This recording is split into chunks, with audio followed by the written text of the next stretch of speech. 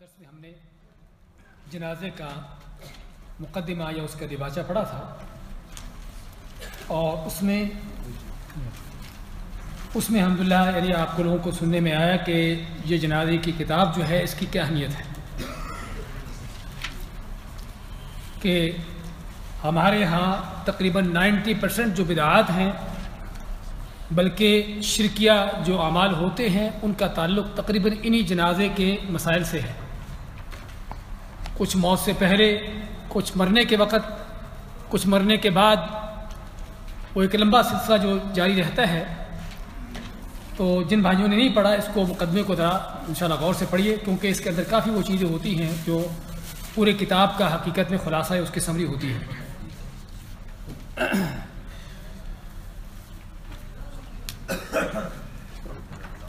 اس کے بعد آج ہم شروع کرتے ہیں صفحہ نمبر اٹھارہ سے۔ صفحہ اٹھارہ ایٹین سے قبل المرض یعنی بیماری سے پہلے۔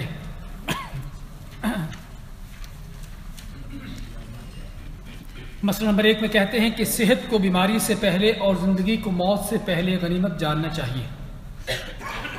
جس میں سی بخاری کی حدیث آپ کے سامنے پیش کرتے ہیں کہ نبی صلی اللہ علیہ وسلم نے حضرت عبداللہ ابن عمر کے کندھے سے پکڑا۔ اور فرمایا، کن فی دنیا کا ان کا غریب او عابر السبیل کہ عبداللہ دنیا میں ایسے رہو کہ جیسے کہ تم مسافر ہو، او عابر السبیل یا کوئی راہ گزر ہو۔ عابر السبیل یعنی راہ گزر یعنی کہ جو رستہ طے کر رہا ہو۔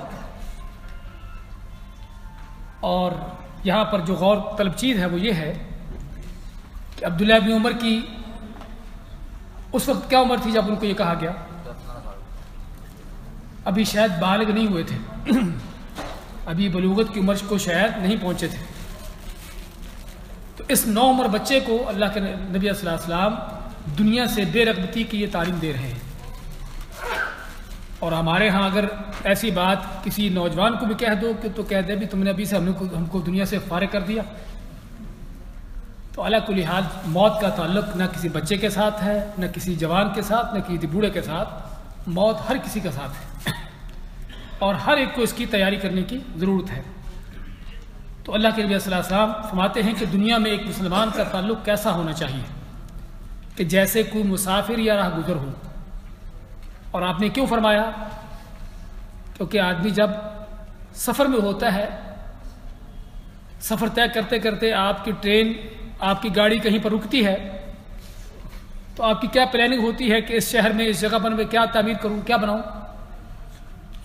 آپ کی نظریں آپ آپ میں سفر کے اینڈ پر ہوتی ہیں کہ کب جو ہے منزل تک پہنچوں۔ اسی طرح مسلمان کا بھی تعلق اس دنیا کے ساتھ ایسا ہی ہونا چاہیے کہ دنیا صرف اس کے لیے سفر ہے، راہ گزر ہے۔ اس کی اصل منزل آخرت ہے، جس پر اس کی نظریں ہونی چاہیے اور اس کے لیے اس کی تیاری ہونی چاہیے۔ تو عبداللہ ابن عمر جس کی اس منہج پر اور اس طریقے پر تربیت ہوئی تھی کیا فرماتے تھے؟ فرماتے تھے کہ امسی تفلا تنتظر صباح کہ اگر تمہاری زندگی میں شام ہو جائے تو صبح کا انتظار نہیں کرو۔ وحیدہ اسبح تفلا تنتظر المسا اور اگر زندگی میں صبح آ جائے تو شام کا انتظار نہیں کرو۔ کیا مانی کہ شاید کہ زندگی کی آخری صبح یا آخری شام ہو۔ اور مزید فرماتے ہیں خود من صحتی کری مارودک اور من حیاتی کری موتک اور جب تم صحت مند ہو تو اپنی صحت مندی سے فائدہ اٹھاتے ہوئے اپنی بیماری کے وقت کا سامان کر لو۔ کیونکہ بیماری کے وقت میں آدمی بیماری تکلیف کی وجہ سے بہت سے کام جو کرنا چاہتا ہے نہیں کر پاتا۔ تو صحت مندی کی حالت میں فائدہ اٹھاتے ہوئے وہ کام کر لو جو کرنا چاہتے ہو۔ اور اسی طرح اپنی زندگی سے فائدہ اٹھاتے ہوئے موت کی تیاری کر لو۔ تو یہ ہے جو صحابہ اکرام کی تربیت تھی اور یہ ہے ان کی جو تعلیمات تھیں جو انہوں نے امت کے لیے چھوڑی ہے اسی طرح دوسری حدیث جو بخاری کی حدیث ہے، وہ بھی اللہ کے لیے السلام ہیں کہ نعمتانی مقبول فی ہما کثیر من الناس۔ کہ دو ایسی نعمتیں ہیں کہ جس میں بہت سے لوگ خسارہ میں ہیں۔ یعنی ان کو ضائع کر رہے ہیں، ان سے فائدہ نہیں اٹھا رہے۔ وہ کون سی دو نعمتیں ہیں؟ ایک صحت مندی اور دوسری فراغت۔ آدمی صحت مند ہو، کوئی تکلیف بیماری نہ ہو، اللہ کی حتیٰ کی دی ہوئی قوت صلاحیتیں اس کے ساتھ ہوں اور دوسرا اس کے پاس فارغ وقت ہو کہ فارغ وقت کو آدمی کس طرح سے استعمال کرے۔ آج ہمارے ہاں جو فارغ وقت کو پاس کرنا، اس کو ٹائم کو پاس کرنے کا مشکل ہوتی ہے کہ ٹائم کیسے پاس کرے۔ اللہ کے لیے فرماتے ہیں کہ یہ انسان کی بہت بڑی اللہ کی نعمت ہے۔ کہ جس نعمت کو لوگ ضائع کرتے ہیں، اس سے صحیح معنوں میں فائدہ نہیں نہ اٹھا نہیں اٹھا پاتے۔ تو کہنے کا مقصد انسان کو چاہیے کہ ان چیزوں سے فائدہ اٹھائے۔ اس سے پہلے کہ وہ مصروف ہو جائے اور پھر تمنا کرے کہ کاش کہ میرے پاس ٹائم ہوتا تو میں یہ کر لیتا۔ اس سے پہلے کہ بیمار ہو جائے اور تمنا کرے کہ کاش میں ایسا صحت مند ہوتا تو ایسا کرتا۔ اس لیے انسان کو چاہیے کہ اللہ کا طرف سے دی ہوئی جو نعمت ہے، میرا ہو جو موقع ہے، اس سے فائدہ اٹھائے۔ آگے بیماری اور بیمار پرسی کے مسائل۔ اسلام حقیقت میں بھائیوں انسان کی قدم قدم پر رہنمائی کرتا ہے۔ پیدا ہونے سے پہلے سے لے کر اس کے لیے تعلیمات شروع ہو جاتی ہیں۔ کہ اس پیدا ہونے والے بچے کو کس کا کس طرح سے اس کے استقبال ہو، پیدا ہونے کے بعد اس کے ساتھ کیا کچھ کرنا ہوگا، کیا اس کے حقوق ہیں، اس کے بعد اس کی پرورش، اس کی یعنی کہ اس کا بڑا ہونا، اس کی زندگی گزارنا، اور پھر آخر میں دنیا سے جاتے ہوئے تو قدم قدم پر رہنمائی ہے۔ تو آدمی بیمار ہو جائے، بیماری کی حالت میں اس کو کیا معاملہ کرنا چاہیے؟ دوسرے لوگوں کے ساتھ اس کو کیا کرنا چاہیے؟ بیماری کا علاج کیسے ہو؟ کن چیزوں سے علاج جائز ہے، کن سے ناجائز ہے؟ وہ اہم قسم کے مسائل اس بات کے اندر جو آپ پڑھیں گے۔ تو اس میں سب سے پہلے ایک حدیث آپ پڑھتے ہیں، صحیح مسلم کی، کہ اللہ تعالیٰ قیامت کے دن ایک آدمی سے سوال کرے گا کہ ابن آدم، میں بیمار ہوا، تو نے میری بیمار پرسی کیوں نہ کی؟ ابن آدم عرض کرے گا، اے میرے رب، تو تو رب العالمین ہے۔ تیری بیمار تیری بیمار پرسی کا کیا مطلب؟ یعنی تیری کیسے بیمار پرسی کر سکتا ہوں؟ اللہ فرمائے گا، کیا تجھے معلوم نہیں تھا کہ میرا فلاں بندہ بیمار ہے؟ لیکن تو نے اس کی عادت نہ کی۔ اگر تو اس کی بیمار پرسی کرتا تو مجھے اس بیمار بندے کے پاس پاتا۔ یہاں پر بیکٹ میں لکھا ہو میری رحمت کو۔ ہم اس پر ابھی انشاءاللہ بات کرتے ہیں۔ ایک دوسرے آدمی سے سوال کرے گا اے ابن آدم، میں نے تجھ سے کھانا مانگا، لیکن تو نے مجھے کھانا نہ دیا۔ تو آدمی کہے گا، اے میرے رب، تو تو رب العالمین ہے، تجھے کھانا کیسے کھلاتا؟ اللہ تعالیٰ فرمائے گا کہ تجھے معلوم نہیں تھا کہ میرا فلاں بندے نے تجھ سے کھانا مانگا، لیکن تو نے اسے کھانا نہ دکھلایا۔ اگر تو کھانا کھلا دیتا، تو اس کا ثواب مجھ سے حاصل کر لیتا۔ تیسرے آدمی سے اللہ پوچھے گا، ابن آدم، میں نے تجھ سے پانی طلب کیا، تو نے مجھے پانی نہیں پلایا۔ آدمی کہے گا کہ اے رب العالمین، تو رب تو رب العالمین ہے، تجھے پانی کیسے پلاتا؟ تو اللہ فرمائے گا کہ میرے بندے، میرے میرے فلاں بندے نے تجھ سے پانی مانگا، تو نے اسے پانی نہ پلایا۔ کیا تجھے معلوم نہ تھا کہ اگر اسے پانی پلاتا، تو اس کا ثواب مجھ سے پا لیتا؟ اس حدیث میں اللہ تعالیٰ نے پہلی بات تو یہ دیکھیے کہ آپ بیمار پرسی کی بیمار کی بار پرسی، بھوکے کو کھانا کھلانا، اس طرح کی چیزوں کو کیا ہے؟ خود اپنے لیے تصور کیا ہے۔ خود اپنے لیے یہ چیزیں کہ بیمار کی بیمار پرسی کا معنی کیا ہے کہ یعنی اس کی بیمار پرسی کرتا تو تجھے مجھے وہاں پر پاتا۔ کھانا کھلاتا تو اس کے کھانے کا اجر مجھ سے پاتا۔ یہ ساری چیزیں۔ تو کہنے کا مقصد اللہ تعالیٰ نے ان چیزوں کو خود اپنے اوپر لیا ہے۔ جو اس بات کی دلیل ہے کہ اللہ تعالیٰ کس قدر چاہتا ہے ہم سے کہ ہم ان چیزوں کو کریں۔ اچھا دوسری چیز اس میں عقیدے کے حوالے سے کہ عربی کے جو الفاظ ہیں، آپ پڑھیں گے کہ اگر تو بیمار بیمار پرسی کے، اللہ تعالیٰ خود مانتے ہیں کہ میں بیمار ہوا، تو نے میری بیمار پرسی نہ کی۔ اب کیا اللہ تعالیٰ بیمار ہو سکتا ہے؟ اللہ کو بھوک لگ سکتی ہے؟ اللہ کو پیاس لگ سکتی ہے جو حدیث میں آتا ہے؟ تو اس لیے لیکن آپ سب نے آگے بلکہ اللہ تعالیٰ نے آگے بیان فرما دیا کہ بیمار ہونا کس کا تھا؟ اللہ تعالیٰ کا نہیں، وہ کس کا ہے؟ بندے کا ہے۔ بھوک کس کو لگی ہے؟ بندے کو لگی ہے۔ پیاس کس کو لگی ہے؟ بندے کو لگی ہے۔ اس میں ہم کیا بیان کرنا چاہتے ہیں؟ کہ اللہ کی ذات بندے سے الگ ہے۔ اللہ اور بندہ ایک نہیں ہے سمجھے نا؟ کیونکہ اس طرح کی بعد حدیثوں سے باطل پرست لوگ شبہات پیدا کر کے حلولیت کا عقیدہ ثابت کرنے کی کوشش کرتے ہیں۔ حلولیت کا عقیدہ جانتے ہیں؟ یا وحدت الوجود کا عقیدہ؟ وحدت الوجود یعنی پوری کائنات میں سارا کچھ ایک ہی ہے۔ انسان بھی رب ہے، رب بھی انسان ہے، نعوذ باللہ۔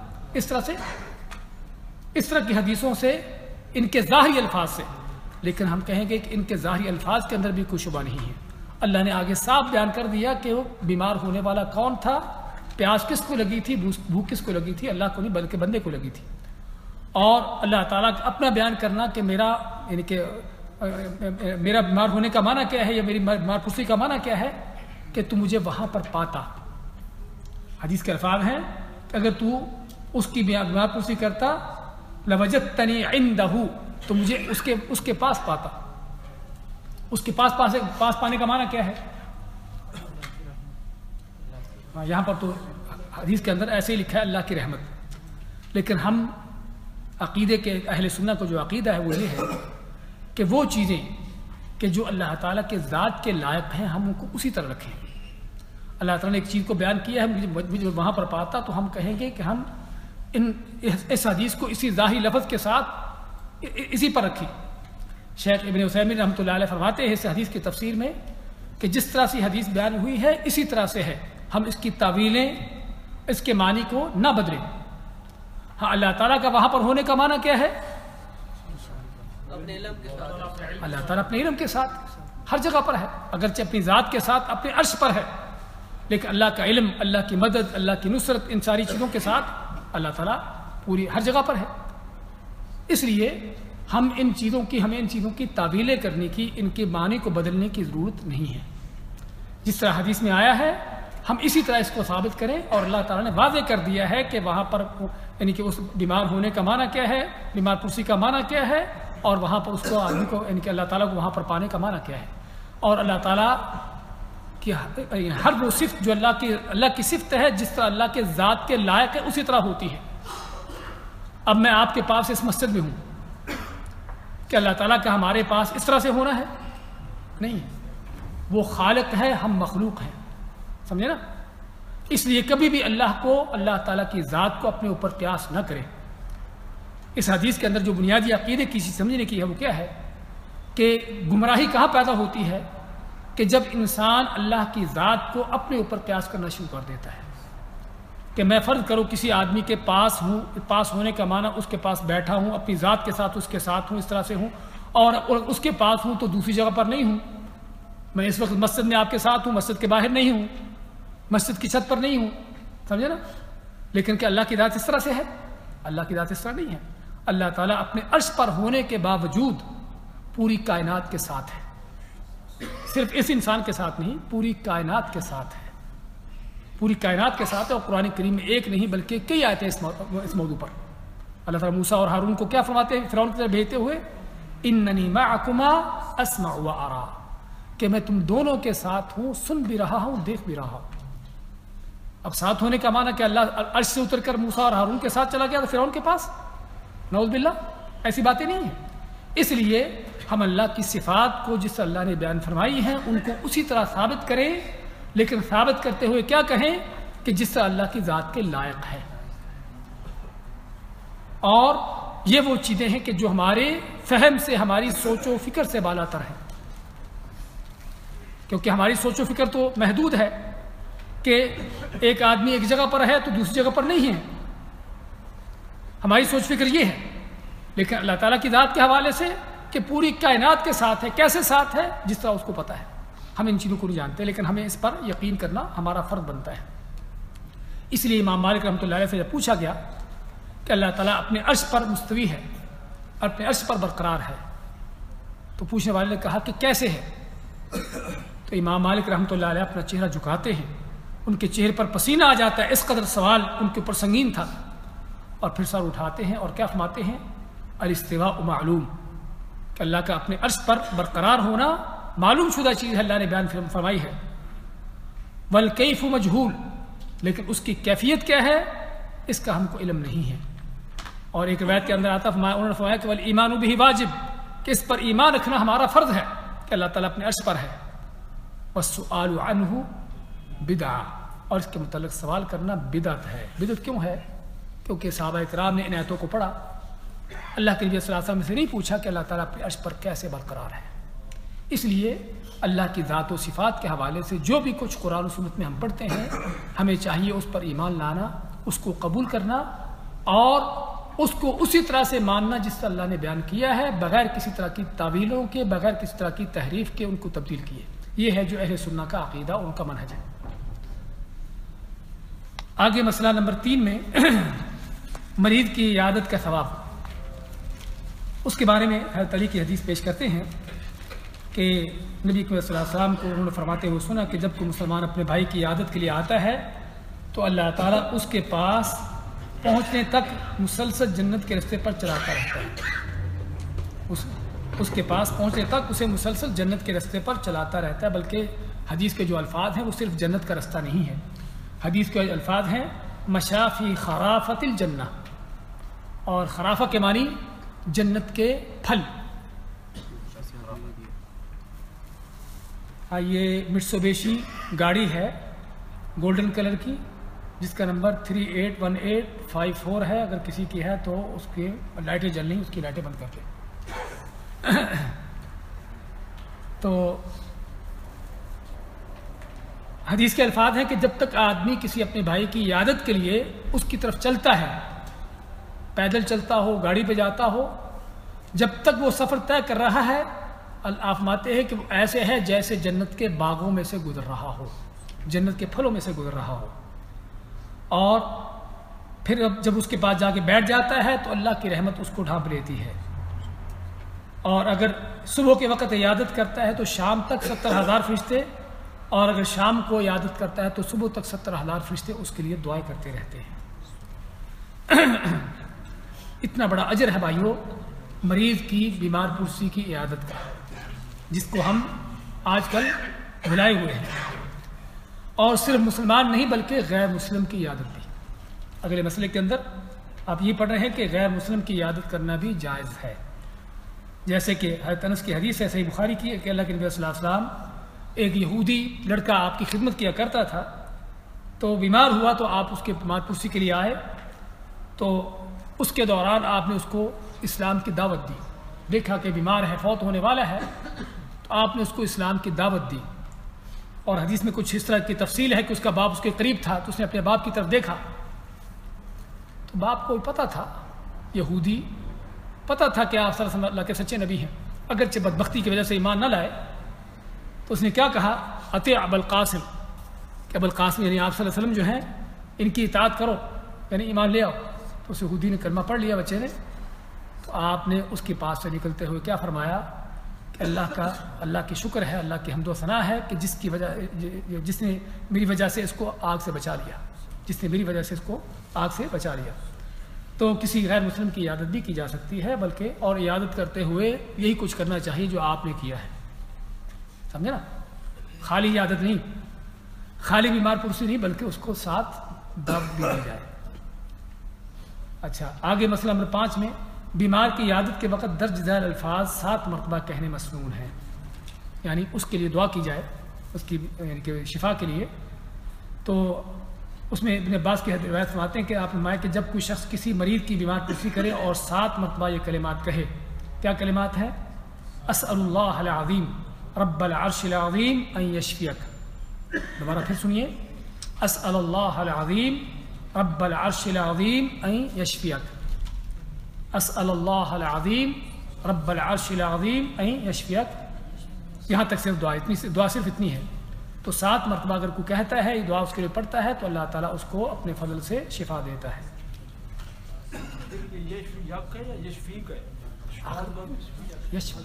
عربی کا گرامر کا کہنا کل یہ ہے کہ جب آخری حرف پر رکیں گے تو اس پر زبر دینی پڑیں گے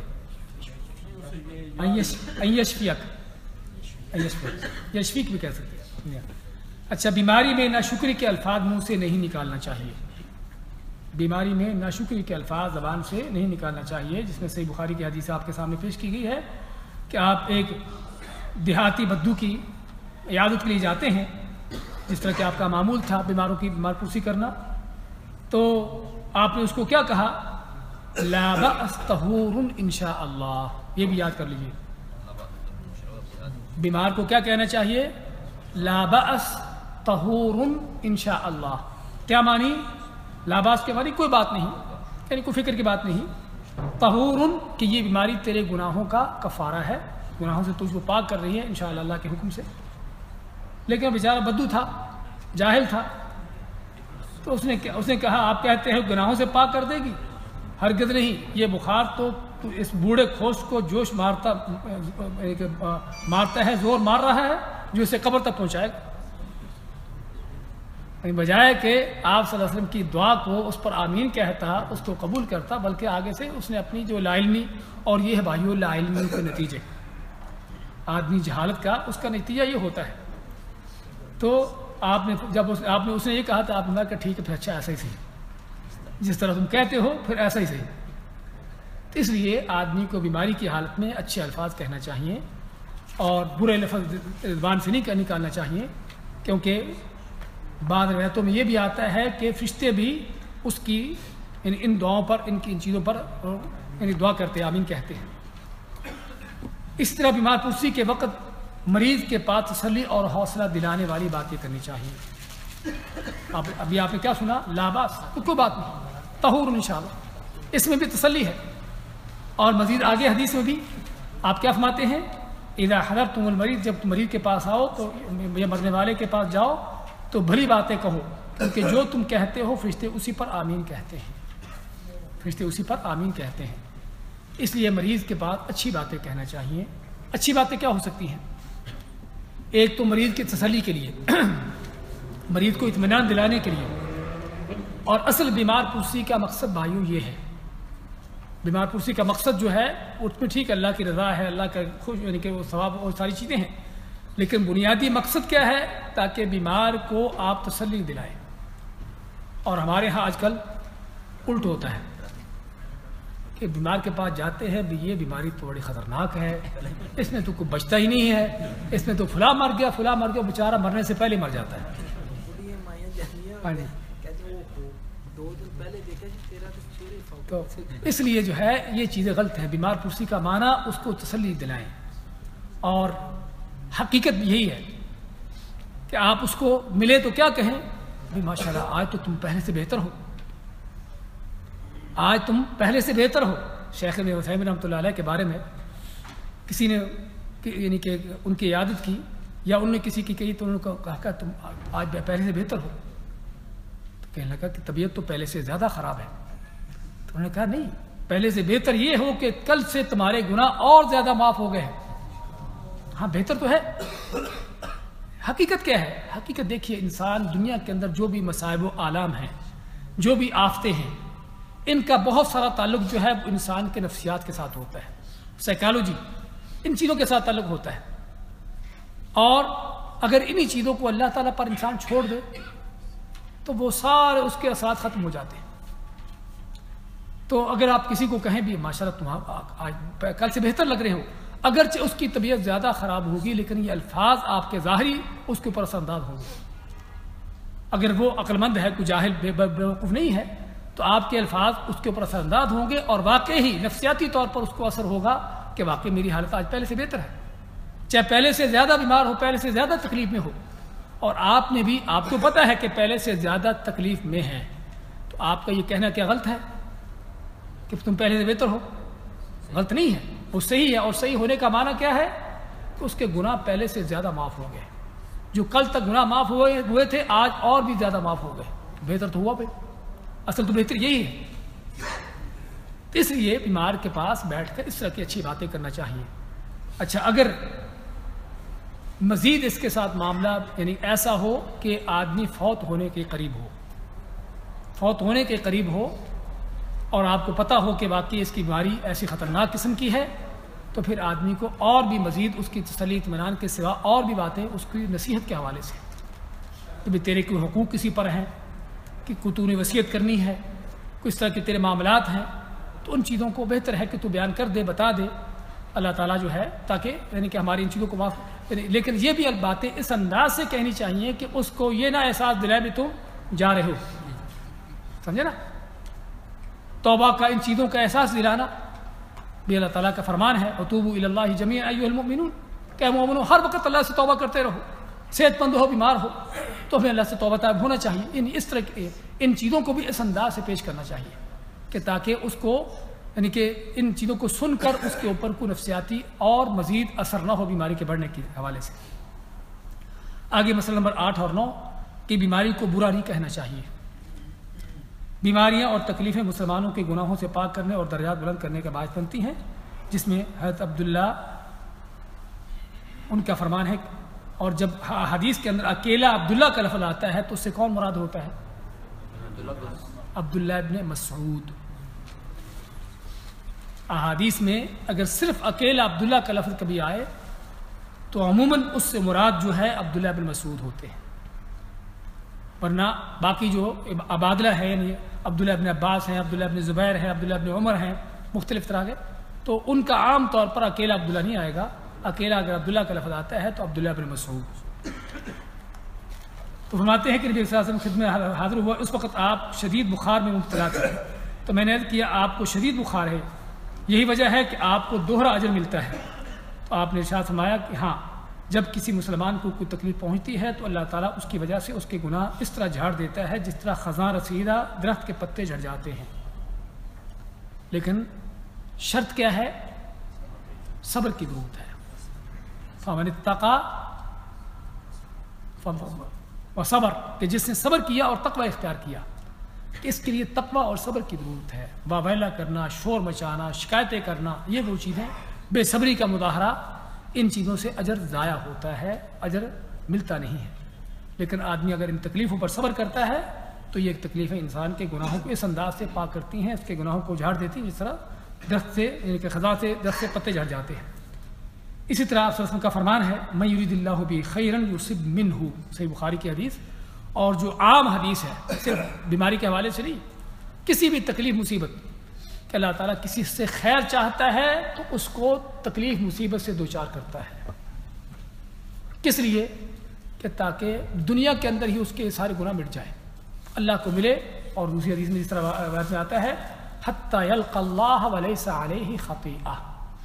حتیٰ کہ آدمی اللہ سے جب ملاقات کرتا ہے، مرنے کے بعد اللہ کے پاس جاتا ہے، تو اس پر کوئی گناہ ہوتا ہی نہیں ہے۔ اس طرح اللہ تعالیٰ اس اپنے ان بندوں سے جن سے اللہ محبت کرتا ہے ان کو اس طرح گناہوں سے پاک کرتا رہتا ہے۔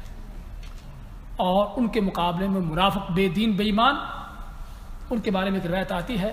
آپ مانتے کہ کی مثال جو ہے، وہ ایسے درخت کی ہے جو سیدھا کھڑا ہوتا ہے۔ آندھیوں، ہواؤں کے ساتھ وہ ادھر ادھر لچک نہیں کھاتا، بلکہ سیدھا کھڑا رہتا ہے۔ حد کہ تیز آندھی ایک ہی بار پھر اس کو اکھاڑ اکھاڑ کر پھینکتی ہے۔ اور مسلمان مومن کی مثال کیا ہے؟ اس درخت کی ہے یا اس پودے کی ہے جو ہواؤں کے ساتھ کبھی ادھر جھک گیا، کبھی ادھر جھک گیا، تو اس کا یہ حال ہوتا ہے۔ تو منافق ہے کہ جن کو اللہ تعالیٰ چھوڑے رکھتا ہے، اس کی بےمانی پر، اس کی رسی ڈھیلی چھوڑتا ہے، حتیٰ کہ ایک بار ہی اس کو پکڑتا پھر۔ اس لیے بیماریوں کو، مصیبتوں کو، تکلیفوں کو، آزمائشوں کو آدمی کو اللہ کی طرف سے انعام اور اللہ کی نعمت سمجھنا چاہیے۔ اور بعض صرف سالین کے بارے میں آتا ہے کہ اگر ان کو کوئی اس طرح کی آفتیں، مصیبتیں آزمائشیں نہیں آتی تھیں، تو اپنے بارے میں فکر مند ہو جاتے تھے کہ کیا وجہ ہے کہ اللہ نے ہم کو ایسے چھوڑ رکھا ہے؟ اللہ ہمارا کوئی امتحان ہی نہیں لے رہا۔ اللہ نے ہم کو امتحان کے قابل ہی نہیں سمجھا۔ اس لیے یہ ہے مسلمان کا موقف۔ مثلا نمبر دس میں بیماری کے دوران بیمار کی دعا قبول کی جاتی ہے، لیکن یہ حدیث جو ہے، موضوع ہے، اس پر کانٹا لگا دیجیے صفحہ نمبر تیئیس پر ٹوئنٹی تھری پہ مثلا نمبر دس کے نیچے جو حدیث لکھی ہے، یہ حدیث موضوع ہے۔ موضوع کے معنی من گھڑت ہے، تو یہ حدیث بالکل صحیح نہیں ہے۔ آگے گیارہ نمبر دیکھیے۔ علاج کرانا سنت ہے، لیکن علاج کے لیے حرام چیزیں استعمال کرنا منع ہے۔ مثلا نمبر گیارہ میں۔ اچھا یہاں تک تھا بیمار پرسی کے حوالے سے۔ تو اس میں اور بھی مزید کافی تفصیل آتی ہے لیکن چونکہ کتاب یعنی کہ ہم یعنی کہ چلنا چاہتے ہیں، تو مختصر طور پر جو بیان وہ اسی پر اکتفا کرتے ہیں۔ علاج کروانا بیماری کا سنت ہے۔ لیکن علاج جو ہے وہ حرام چیز سے کرنا جائز نہیں ہے۔ جس میں اسامہ بن شریک کی حدیث ہے کہ اللہ کے نبی صلی اللہ علیہ وسلم کے پاس دیہاتی آئے۔ انہوں نے کہا کہ ہاں، کیا اللہ کے نبی صلی اللہ علیہ وسلم ہم علاج کروائیں؟ تو آپ میں کہ ہاں اللہ کے بندو، علاج کرواؤ۔ کیونکہ اللہ نے جو بھی بیماری نازل کی ہے، اس کا علاج بھی نازل کیا ہے۔ اس کے لیے شفا بھی رکھی ہے۔ ہاں کچھ ہیں کہ جن کو اس شفا کا پتہ چل جاتا ہے اور کچھ ہیں جن کو پتہ نہیں چلتا۔ سوائے ایک بیماری کے وہ کون سی؟ بڑھاپا۔ اب وہ اس کے لیے کوئی علاج نہیں ہوتا۔ بوڑھے ہو کے جوان کبھی نہیں ہوتے۔ تو اس لیے جو ہے، بیماری کا علاج کرنا سنت ہے، لیکن ان چیزوں سے جس سے علاج کرنے کی اجازت دی گئی ہے۔ اس طرح مرارہ کی حدیث ہے۔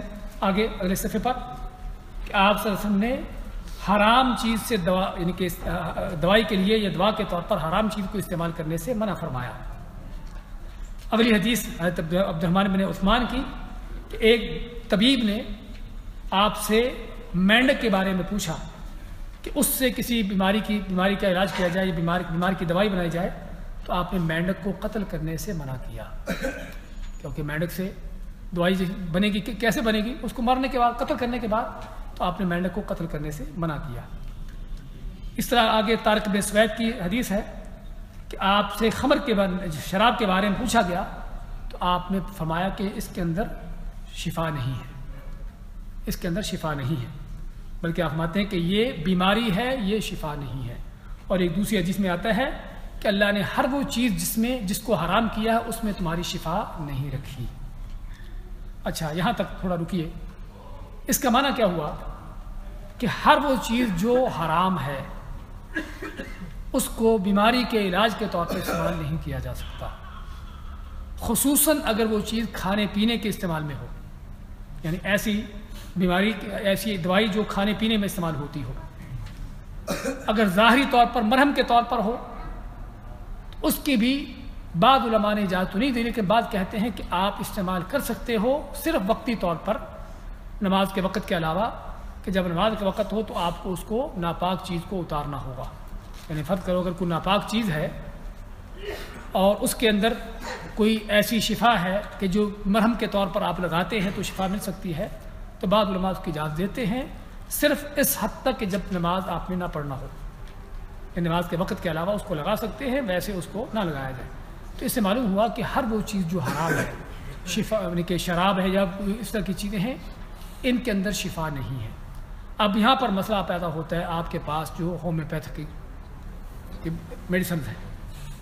ان کے اکثر کے اندر جو ہے الکوہل ہوتا ہے اور ہومیوپیتھ کے بلکہ اس کے آلوپیتھک کے اندر بھی اور کافی چیزوں کے اندر جو ہے وہ الکوہل ہوتا ہے۔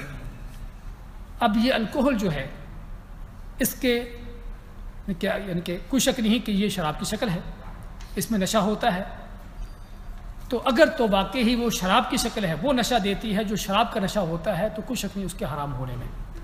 لیکن بعض علماء کہتے ہیں کہ اگر اس کا استعمال صرف ایک اتنی معمولی حد تک ہو کہ اس کا بالکل کوئی یعنی ظاہری اثر نہ ہو یعنی دو چار پرسنٹ کی حد تک ہو، بہت بہت معمولی ہو، تو اس حد تک اس کی اجازت ہے۔ لیکن اگر وہ واضح شکل میں ہو، تو اس کی اجازت نہیں ہے۔ اگرچہ احادیث کے روح میں آپ سر کیا فرماتے ہیں کہ ما اسکر کثیر ہو فقریل ہو حرام۔ کہ جو زیادہ پینے سے انسان کو نشہ ہو جائے، اس کا تھوڑا بھی حرام ہے۔ لیکن یہاں پر یعنی کہ یعنی جن علماء نے اجازت دی ہے، انہوں نے اس لیے کہا ہے کیونکہ یہ وہ چیز ہے کہ جس کا آپ کے اوپر نشے کے حوالے سے، ان چیزوں کے حوالے سے آپ کے اوپر کوئی اثر نہیں ہو رہا۔ ایک چیز۔ دوسری چیز یعنی کہ دوائیوں کے اندر بعض ایسے میڈیسن یعنی کہ بعض ایسی چیزیں استعمال ہوتی ہیں کہ جن سے نیند آتی ہے۔ بھائی، نیند آنا اور چیز ہے اور نشہ اور چیز ہے۔ دونوں میں فرق ہے۔ دونوں میں فرق ہے۔ نیند آنے کا معنی کہ آپ کو ایسی چیز پینے کہ جس سے آپ کو انود کی تاریخ ہو جائے اور آپ سو جائیں۔ آپ کو پتہ نہ ہو کہ آپ کہاں پر ہیں اور آپ کی لیکن نشہ کیا ہے؟ ہاں جی؟ ہاں۔ نشہ کیا ہے؟ نشے کے اندر انسان کو جو ہے وہ ایک طرح کا مزہ آتا ہے۔ وہ کسی گٹر پر گرا پڑا ہوتا ہے، سمجھتا ہے کہ ہوا میں اڑ رہا ہے، تخت پر بیٹھا ہوا ہے۔ سمجھے نا؟ تو نشہ کی یہ کیفیت ہے اصل میں۔ اس لیے ان دونوں کے اندر فرق کرنے کی ضرورت ہے۔ ہمارے بہت سے لوگ ان دونوں کے اندر یعنی دونوں چیزوں کو نہیں سمجھتے اور دونوں کو مکس کر مکس کر دیتے ہیں، یہ چیزیں صحیح نہیں ہے۔ جو نشہ آور چیزیں ہیں، جس طرح شراب ہے، یہ اس طرح کی چیزیں، یہ ہیں جو حرام ہیں۔ لیکن وہ چیزیں جو ویسے ہی جن سے صرف نیند آتی ہے رود کی تاریخ ہو جاتی ہے اور آدمی سو جاتا ہے اور وہ نشے کی کیفیت نہیں ہوتی جو شراب پینے اس طرح کی چیزوں کی ہوتی ہے، تو وہ نشے کے حکم میں نہیں آئیں گی اس کے بعد آپ سرسم کے متعلق آتا ہے کہ بعض وہ چیزیں جو آپ نے علاج کے طور پر لوگوں کو بتائی۔ اس مسئلہ نمبر بارہ میں رسول صلی اللہ علیہ وسلم بخار کا علاج ٹھنڈے پانی سے کرنے کا حکم دیا۔ تو اس میں آپ نے فرمایا کہ بخار جہنم کی بھٹی میں سے ایک بھٹی ہے یعنی جہنم کی گرمی میں سے ہے۔ اسے ٹھنڈے پانی سے ختم کرو۔ اسے ٹھنڈے پانی سے ختم کرو اور واقعی حقیقت ہے کہ بخار کی بہت سی کیفیتیں جو ہیں وہ ٹھنڈے پانی سے ختم ہو جاتی ہیں۔ تیرہ نمبر مسئلہ میں نبی دل کے مریضوں کے لیے حریرہ تجویز فرمایا جس کو عربی میں تلبینہ کہا جاتا ہے۔ تو حضرت عائشہ ماتی ہیں کہ رسول صلی اللہ علیہ وسلم کو فاتح ہوئے سنا کہ تلبینہ دل کے مریضوں کے لیے راحت بخش ہے اور غموں کو ہلکا کرتا ہے۔ ہاں جی۔ تلبینہ یعنی جو کے آٹے کا ہوتا ہے اب انگلش میں کیا بولتے ہیں اس کو پتہ نہیں۔ اللہ ہاں دلیا۔ ہاں دلیا ہوتا ہے۔ دلیا دو جو جو کے آٹے کا ہوتا ہے۔ مثلا نمبر چودہ میں نبی کو سے نمونیا میں عود ہندی استعمال کرنے کی ہدایت فرماتے تھے۔ نمونیا بخار کی شکل جو ہے، تو اس میں آپ آپ نے فرمایا حدیث میں، اپنے اولاد کے حل کیوں دباتی ہو؟ یعنی عورتوں کو آپ نے کہا کہ قیس بن کہ اپنے بچوں کے حل کیوں دباتی ہو؟ تمہیں عود ہندی استعمال کرنا چاہیے۔ اس میں سات بیماریوں کے لیے شفا ہے۔ ان میں سے ایک ذات الجمب ہے۔ حلق کی بیماریوں کے لیے اسے ناک میں ڈالنا چاہیے جبکہ ذات الجمب کے لیے منہ میں چبانے چاہیے۔ مسئلہ نمبر پندرہ میں درد شقیقہ سے آپ نے علاج کس سے کروایا؟ پشین لگوانے سے یا سنگی لگانے سے؟ ہاں جی۔ وہ کہاں پر لگانی ہے؟ وہ کہ سنگی لگانے والے جانتے ہیں کہ کہاں پر لگائی جاتی ہے۔ تو درد شقیقہ جو آدھے صد کا درد ہوتا ہے، تو اس کا علاج جو ہے آپ نے سنگی لگانے اور سنگی صرف اس کا نہیں، بلکہ بہت سی بیماریوں کا علاج ہے۔ اللہ کے صلی علیہ وسلم کے دوسری حدیث میں آپ ماتے ہیں کہ اللہ نے اگر شفا رکھی ہے تو تین چیزوں کے اندر۔ وہ کون کون سی چیزیں ہیں؟ شہد کا گھونٹ اور سنگی لگانا اور کئی کرنا۔ آگ سے داغنا، کئی کرنا۔ ان تین چیز پلا احب الکئی لیکن آپ نے آپ آخر میں یہ بھی فرمایا کہ مجھے کئی کرنا یہ چیز پسند نہیں ہے۔ اس اپنی آگ سے داغنا جو ہے آپ فرماتے ہیں کہ مجھے یہ چیز پسند نہیں ہے۔ خون روکنے کے لیے حضرت صاحب نے ٹاٹ کی راکھ استعمال فرمائی۔ جس طرح آپ کے سامنے ہر سال کی حدیث ہے سال برسات کی، کہ عہد دن عہد کے روز آپ سب کو جب زخم لگے تو حضرت فاطمہ آپ کے زخم دھو رہی تھی۔ تو اور حضرت علی ڈھال سے زخم پر پانی ڈال رہے تھے۔ تو دیکھا جب زخموں کو دھونے سے اور خون زیادہ بہہ رہا ہے، تو انہوں نے ٹاٹ کو جلا کر، ٹاٹ جانتے ہیں نا؟ ہاں جی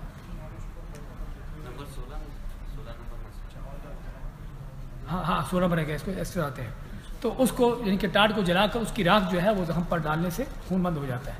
اچھا مثلا نمبر سولہ میں کہتے ہیں کہ ارق النسا نسا نہیں ارق النسا جوڑوں کا درد۔ ہاں جی زبر کے ساتھ ہے۔ یہاں پر نسا لکھا لیکن بعد نسا بھی کہتے ہیں لیکن اصل میں نسا ہے۔ اصل میں ارق النسا ارق کہتے ہیں رگ کو۔ اور نسا کہتے ہیں اس کا ارق النسا کیوں کہا؟ کہتے کہ درد ایسی ہوتی ہے کہ انسان کو ہر چیز بلا دیتی ہے۔ تو نسا نسیان سے بھول بھولنے سے۔ اس لیے اس کو ارق النسا کہا گیا۔ تو ہاں نس نس ارق کو کہتے ہیں نس تو اس کے لیے آپ نے جو علاج یعنی کہ کرنے کا کہا وہ کس چیز کے؟ کہ وہ آپ میں کہ جنگلی بکری جنگلی بکری اس کی جو سورین ہوتی ہے سورین ہے اس کے یعنی پیٹ اس کے پیٹھ پیچھے جو چربی ہوتی ہے نا جو چربی لٹک رہی ہوتی ہے جس کو چکری بولتے ہیں۔ ہاں دمبے جیسی ہوتی ہے۔ ہاں جی۔ تو یہ لیکن یہ جنگلی ہو۔ عام پالتو نہ ہو جنگلی بکری۔ جنگلی جو دمبا ہوتا ہے اس کی چکری لے کر اس کی چربی کو پگھلا کر اس سے جو ہے اور یعنی فرماتے ہیں کہ ہر روز نہار منہ ایک حصہ پیا جائے۔ اس کی چکری چکری اس کی چربی پگھلا کر اس کو نہار منہ پیا جائے۔ تو یہ اس کا علاج ہے۔ اٹھارہ نمبر مسئلے میں دل کے دل کے لیے اجوا کھجور تجویز فرمائی۔ نیز اجوا کھجور مدینہ میں کھجور کی خاص قسم ہے، زہر اور جادو کا بھی علاج ہے۔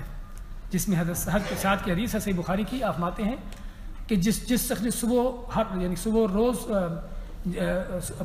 صبح کے وقت سات اجوا کھجوریں کھائیں، اسے اس روز زہر اور جادو کے اثر سے محفوظ رہے گا۔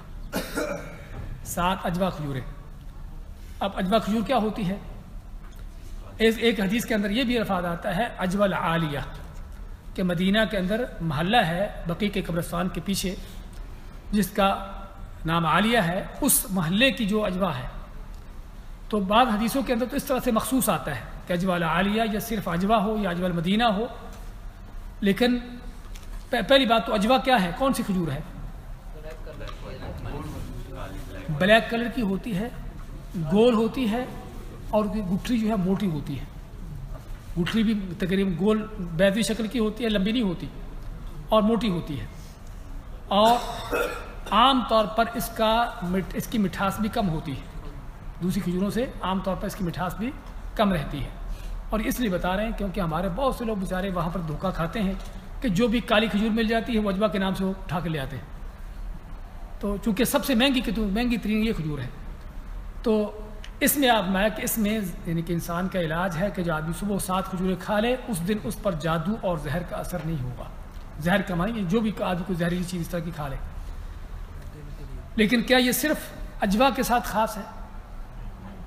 ابن بعد رحمۃ اللہ علیہ فرماتے ہیں کہ اگر کوئی آدمی اللہ کے رضا صلی اللہ علیہ وسلم کی اس سنت پر عمل کرتے ہوئے کوئی بھی کھجور اس کو میسر ہو، اجوا میسر نہ ہو، بشرطے کہ اجوا اجوا نہ ملے، کوئی بھی کھجور اس کو مل جائے اور سات کھجوریں اس نیت سے کھا لے تو اللہ کے فضل سے انشاءاللہ اس کو یہ چیز حاصل ہو سکتی ہے۔ اگلے مسئلہ انیس میں کلونجی بہت سی بیماریوں کا علاج ہے۔ کلونجی تو جانتے ہوں گے؟ ہاں جی۔ حبت سودا یا بلیک سیڈ۔ ہاں جی۔ اس میں ماتے ہیں، آپ آپ کا مانے کہ سیاہ دانے میں سام کے علاوہ ہر بیماری کا علاج ہے۔ سام کا مطلب موت ہے اور سیاہ دانہ سے مراد کلونجی ہے۔ آپ میں کہ کلونجی کے اندر ہر مرض کے علاج ہے سوائے موت کے۔ اچھا یہاں پر ایک بات کہتے چلے کہ یعنی کہ بہت سے لوگ کلونجی کھاتے ہیں اور یعنی کہ کسی بیماری کے لیے اور علاج نہیں ہوتا۔ وجہ کیا ہے۔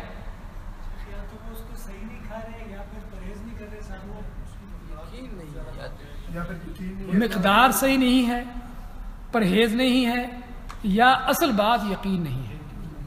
اصل بات جو ہے وہ یقین نہیں ہے۔ کیونکہ بھائیو، ان چیزوں کا سبھی کا تعلق جو ہے وہ یقین کے ساتھ ہے۔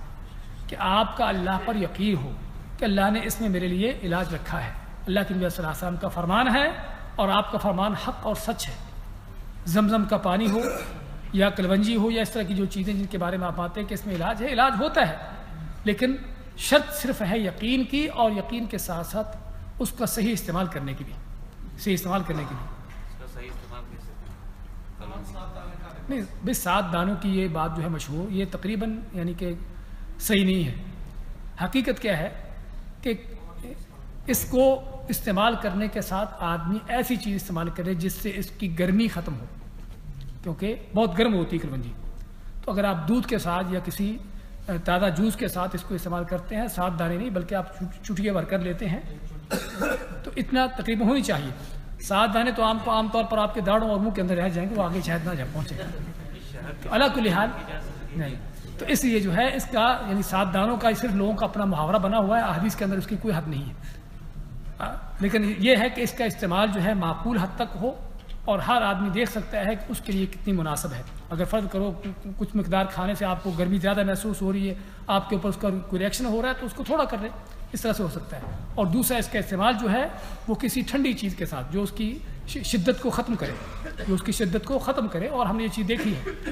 بعض لوگ ایسے پانی کے ساتھ کھاتے ہیں اور اس کے، ان کے اوپر اچھا خاصا اس کا برا اثرات ہوتے ہیں۔ اس لیے جو ہے ان کو اس کو بہتر ہے کہ کسی یعنی کہ دودھ وغیرہ اس طرح کی چیز کا استعمال کیا جائے، جس سے اس کی شدت ختم ہو۔ اس طرح مہندی کے استعمال کے حوالے سے کہ آپ کو متعلق آتا ہے کہ آپ زخم، آپ کو زخم آتا یا کانٹا وغیرہ چپتا تو آپ اس پر مہندی لگاتے۔ ہاں جی۔ اسی طرح آگے مسئلہ نمبر اکیس میں سفر نمبر اٹھائیس پر پاؤں میں موج کا علاج سنگی لگوا کر کیا آپ نے۔ موج جانتے ہوں گے کیا؟ سبھی جانتے کہ نہیں؟ سبھی نہیں جانتے۔ کیا ہوتی موج؟ موج کا معنی کہ پاؤں کے اندر کوئی یعنی, یعنی کہ پاؤں مڑ جانا، پاؤں مڑنے کی وجہ سے آپ کے وہ تکلیف ہونا، اس کو موچ آنا کہتے ہیں۔ تو اس کے بارے میں ہر جابر کی جس حدیث ہے کہ آپ نے اس کے لیے جو ہے اپنے آپ کے اپنے کولے پر جو ہے آپ نے سنگی لگوائی۔ کولے پر سنگی لگوائی۔ حالانکہ موج کہاں پر تھی؟ پاؤں میں۔ اور سنگی کروائی کولے پر۔ اس کے یعنی کہ اس کے معلوم کیا ہوا کہ سنگی جو ہے ضروری نہیں کہ وہیں پر لگے جہاں پر درد ہے۔ ہجامہ۔ ہجامہ جانتے ہیں؟ اچھا بینائی تیز کرنے کے لیے سرخ سرخ سرما استعمال فرماتے تھے۔ اور بلکہ آپ میں کہ علیکم بالعصمت، کہ سرخ سرما رات کو اس وقت رات کو سوتے وقت استعمال کیا کرو، اس سے بنائی تیز ہوتی ہے اور بال بڑھتے ہیں۔ بال سر کے نہیں، آنکھوں کے۔ تو ہاں جی۔ ہاں جی۔ ہاں ملتا ہے ملتا ہے سرما۔ لیکن اصلی ہو، صحیح ہو۔ کیونکہ آج کل جس طرح بتایا ہے کہ ہر چیز ماشاء اللہ وہ دو نمبر آتی ہے، تو وہ کسی چیز چیز کے اندر بھی سرخی ڈال کر اس کو سرما بنا لیتے ہیں۔ لیکن اگر آپ کو اصلی مل جائے تو وہ یہ ہے۔ تیئیس نمبر میں اللہ تعالیٰ نے کھمبی کو آنکھوں کے لیے شفا بنایا ہے، جس طرح کہ حدیث آپ کے سامنے ہے کھمبی کھمبی نہیں جانتے؟ مشروم۔ بارشوں کے بعد جو ہے جب بارشیں ہوتی ہے تو عام طور پر صحرائی علاقے یا ریت کے علاقے اس طرح کی جگہوں پر جو ہے یہ اگتی ہیں۔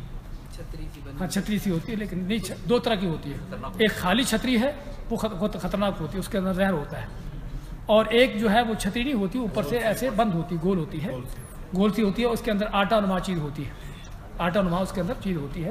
تو یہ ہے جو کھمبی ہوتی ہے۔ اس کے بارے میں حدیث میں آتا ہے کہ آپ آپ کے سامنے کھمبی کے بارے میں کہا گیا تو آپ یہ مائع کے زمین کی چیچک ہے۔ تو آپ مائع کے کھمبی تو من یعنی بنی اسرائیل کے آسمانی نعمت ہے یعنی من سلوا جو بنی بنی اسرائیل کے اوپر آتا تھا۔ تو ایک تفسیر یہ بھی کی جاتی ہے کہ من کے معنی کھمبیاں تھیں، ان کے ہاں کھمبیاں اگتی تھیں۔ اس کا پانی آنکھوں کے لیے شفا اور اجوا کھجور جنت کا پھل ہے۔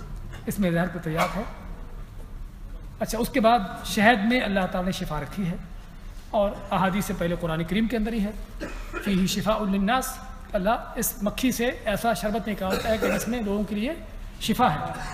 اور یہاں پر بھی آپ کے سامنے ایک آدمی کا واقعہ پیش کیا گیا ہے۔ اس نے اپنے بھائی کے بارے میں شکایت کی کہ اس کا پیٹ جو ہے وہ نہیں رکتا۔ تو آپ نے اس کو جو ہے شہد پلانے کا حکم دیا۔ تو جب اس کو شہد پیا تو اس کا پیٹ اور زیادہ چلنا شروع ہو گیا۔ تو آپ میں اس کو اور شہد پلاؤ۔ اس نے اور پلایا۔ حتیٰ کہ جب تیسری بار پلایا تو اس کا پیٹ صحیح ہو گیا۔ تو جب اس نے پہلی بار پیا تو اس نے آ کے شکایت کی کہ اللہ کے نبی اس کا پیٹ تو اور زیادہ ہو گیا تیز۔ آپ میں کہ سادہ سادہ سادہ اللہ ہوا کر ببت نخوق اللہ نے سچ کہا ہے اور تیرے بھائی کے پیٹ جو ہے وہ جھوٹ بول رہا ہے۔ اس لیے اس کو اور شاید پلاؤ۔ تو علامہ بن قیب فرماتے ہیں اس میں کہ اصل میں کیا ہے کہ ضروری نہیں کہ کسی چیز کے پہلی بار استعمال سے ہی آپ کو اس سے شفا مل جائے۔ بلکہ بعض اوقات کیا ہوتا ہے کہ اس کے پہلی بار استعمال سے اس کے اندر جو مادے ہوتے ہیں وہ نکلنا شروع ہوتے ہیں اور زیادہ تیز ہو جاتا ہے۔ اس لیے اس کو دوبارہ تیسری بار بار بار استعمال کرنے سے اس کو جو ہے وہ صحیح ہو جاتا ہے۔ زمزم کے پانی میں شفا ہے۔ اس طرح کے جاول کی جاول کی حدیث فرماتے ہیں کہ اللہ کے ویسا سمایا کہ ما زمزم لما شوری بالا ہوں صرف شفا نہیں، آپ مانتے کہ پانی زمزم کا پانی جس مقصد کے لیے پیا جائے۔ صرف شفا نہیں ہے، ہر چیز۔ جو بھی آپ چاہتے ہو زمزم کا پانی پیجیے اور دعا کیجیے علامہ ابن حجر رحمۃ اللہ علیہ کو جانتے ہوں گے آپ۔ بخاری کے اور بہت سی ان کی کتابیں ہیں۔ بخاری کی سب سے بڑی شرح ان کی فتح الباری کے نام سے۔ ہاں جی۔ اور بہت بڑی ان کی کتابیں ہیں۔ تقریباً بعض علماء نے کو نو سو کے قریب ان کی کتابیں گری ہیں۔ اور ہر کتاب ہی ان کی بہت عظیم ہے۔ اتنا بڑا علم ان کے پاس نویں صدی ہجری کا عالم تھے۔ تو ان کے بارے میں آتا ہے کہ انہوں نے زمزم کا پانی پیا اور دعا کی ان کے ایک استاد تھے علامہ ذہبی کے نام کے کہ کاش کہ میں بھی ان کی طرح کا عالم بن جاؤں۔ زمزم کا پانی پیتے ہوئے یہ دعا کی کہ میں ان کی طرح کا عالم ہو جاؤں۔ تو اللہ نے ان کو ان سے بھی زیادہ علم دیا۔ ان سے بھی زیادہ علم دیا۔ اس لیے زمزم کا پانی صرف شفا نہیں ہے، بلکہ ہر چیز کے لیے ہے۔ آدمی اس پانی کو پی کر جو بھی اللہ سے دعا کرے، اللہ اس کی دعا کو قبول کرتا ہے اور اگر شفا کے حوالے سے بھی دوسری الفاظ کے اپنے حدیث یہاں پر ذکر نہیں کی میرے خیال، کہ آپ نے یہ بھی فرمایا کہ اس میں شفا ہے۔ آپ نے صاف طور پر یہ بھی فرمایا کہ اس میں لوگوں کے لیے شفا بھی ہے۔ اور شفا کے ساتھ ساتھ صحت مندی بھی ہے۔ حضرت ابو ذر غفاری فرماتے ہیں، آپ کا واقعہ ان کو سنا تھا نا؟ کہ جب مکہ میں آئے اور اسلام لائے تو تیس دن تک جو ہے وہ بیت اللہ کے غلاب میں ہی چھپے رہے۔ تو کہتے کہ میرے تیس دن تک میرا کھانا پینا کیا تھا؟ صرف زمزم کا پانی تھا۔ کہتے پی پی کر میں موٹا ہو گیا۔ یعنی اس قدر اللہ نے اس میں شفا رکھی ہے۔ اور صرف ایک واقعہ نہیں، بلکہ ہزاروں واقعات۔ ہزاروں واقعات آج بھی اور صاحب کا زمانہ ممکن لیکن بات صرف یقین کی ہے۔ بات صرف یقین کی ہے، ورنہ حرم کے اندر بیت اللہ میں رہنے والے جن کا صبح و شام، رات دن پانی ہی ان کا پینا زمزم کا ہوتا ہے ممکن اس کو بھی شفا نہ ملتی ہو اور جو ایک بار ہی پی لے اس کو شفا مل جاتی ہو، بات صرف یقین کی ہے اور لپت بکر کی ہے۔ اس کے بعد آپ اگلی حدیث میں، اگلے مسئلہ میں سنا اور زیرہ میں ہر بیماری کے لیے شفا فرماتے ہیں۔ سنا مکی سنا مکی کے نام سے مشہور ہے۔ اس میں اور زیرہ میں آپ ماتے کے موت کے علاوہ ہر چیز کے لیے شفا ہے۔ بیماری دور کرنے کے لیے ہاتھ میں اچھا یہاں تک تو یہاں تک رکیے اچھا یہ وہ چیزیں تھیں کہ جن کے بارے میں اللہ کے نبی صلی اللہ علیہ وسلم نے فرمایا کہ ان چیزوں کے اندر شفا ہے۔ اور ظاہر یہ وہ چیزیں ہیں کہ جن کا عام طور پر، میڈیکلی طور پر بھی ان چیزوں کے ساتھ کوئی تعلق رہتا ہے۔ یعنی سنا مکی ہے فرض کرو، کچھ بھی ہے، کوئی میڈیکلی طور پر بھی ان چیزوں کے ساتھ علاج کا کوئی تعلق رہتا ہے۔ تو اس لیے یہاں تک ہم رکتے ہیں اور کہتے ہیں کیا؟ کہ اللہ تعالیٰ نے بیماریاں نازل کی ہیں اور بیماریوں کے ساتھ اس کا علاج بھی نازل کیا ہے۔ تو مسلمان کو چاہیے، انسان کو چاہیے کہ اپنی بیماری کا علاج کروائے۔ اپنی بیماری کا علاج کروائے، لیکن صرف ان چیزوں سے کروائے جو چیزیں حلال ہیں، جو حرام ہیں، ان چیزوں میں اللہ نے شفا نہیں رکھی۔ اچھا اس کے بعد اب یہاں سے آگے جو شروع ہوتا ہے، اب کیا ہے؟ کچھ وہ چیزیں ہیں کہ جو ظاہری اسباب نہیں ہیں۔ جو ہم صاحب کا پڑھ رہے ہیں، وہ کیا ہے ظاہری اسباب ہیں۔ ثنا مکی اس کا تعلق ہے فرض کرو کسی کو پیٹ اس کا نہیں چلتا، قبض کا معاملہ ہے، تو ثنا مکی تھوڑی کھا لے، پیٹ چل جائے گا۔ ایک ظاہری اس کا تعلق ہے اٹیچمنٹ ہے۔ سمجھے نا؟ شہد کا معاملہ اسی طرح سے۔ تو اللہ تعالیٰ کا فرمان بھی ہے، اللہ کے نبی صلی اللہ علیہ وسلم کا فرمان بھی ہے، اور میڈیکل ریسرچ کے اندر بھی ان چیزوں کا، ان بیماریوں کے ساتھ کوئی تعلق موجود ہے۔ حصی طور پر۔ تو کہنے کا مقصد کہ بعض وہ اسباب ہیں جو حصی ہیں۔ حصی اسباب ہیں۔ قرآن و حدیث کے اندر آئے ہیں یا نہیں آئے، ہم بیماری کے علاج میں ان کو استعمال کر سکتے ہیں۔ بیماری کے علاج میں ان حصی اسباب کو استعمال کر سکتے ہیں۔ جس طرح کہ آج کل کی آلوپیتھک کی بہت سی دوائیاں ہیں، جن کا جن کے ذریعے علاج ہوتا ہے کہ جو ایک تکلیف یا بیماری کے ساتھ اس کا اٹیچمنٹ ہے۔ تو یہ حصی علاج ہے کہ جس میں ہمیں قرآن و حدیث کی دلیل کی ضرورت نہیں ہے۔ بات سمجھنے کی کوشش کیا کیونکہ یہاں پر عقیدے کا معاملہ ہے کہ بعض وہ چیزیں ہیں کہ جس کے اندر حصی تعلق ہے اس بیماری کے ساتھ۔ تو ان چیزوں کی حد تک ہمیں جو ہے، ان کے لیے قرآن و حدیث کی دلیل کی ضرورت نہیں ہے۔ اگر قرآن و حدیث میں اس طرح کی کچھ چیز آگے جس طرح بھی ہم پڑھ رہے تھے، تو اور ہمیں یقین ہو جاتا ہے اور ہمیں تسلی ہو جاتی ہے۔ لیکن اگر نہ بھی ہو اور میڈیکل ریسرچ میں، لیبارٹری میں اس حصی سبب کو ظاہر ثابت کر دیا گیا ہے، تو ہم اس کے ساتھ علاج کر سکتے ہیں۔ ایک چیز، دوسری چیز، اب آگے جو شروع ہو رہا ہے۔ آگے کیا شروع ہو رہا ہے؟ بیماری دور کرنے کے لیے ہاتھ میں کڑا، چھلا، منکا، دھاگا وغیرہ اس طرح کی چیزیں پہن، باندھنا منع ہے۔ کیوں منع ہے؟ لوگ کہتے ہیں، ابھی کڑا پہن کر ہمیں تو شفا مل جاتی ہے۔ دوسرا کہتے ہیں کہ اس تعویذ سے میری بیماری دور ہو جاتی ہے۔ تیسرا کہتا ہے کہ اس دھاگے کے ساتھ جو ہے مجھے نظر نہیں لگتی۔ تو لوگ یہ باتیں کہتے ہیں۔ تو ہم کیا ان کی باتیں مانیں یا کیا کریں ہاں جی۔ یہاں پر، یہاں سے آگے جو بیان ہو رہا ہے وہ کیا ہے؟ یہ وہ اسباب ہیں جو غیر حصی ہیں، مانوی ہیں، ظاہری نہیں ہیں۔ جو ظاہری نہیں ہیں، اب یہ کڑا تانبے کا اپنے ہاتھ میں پہنا۔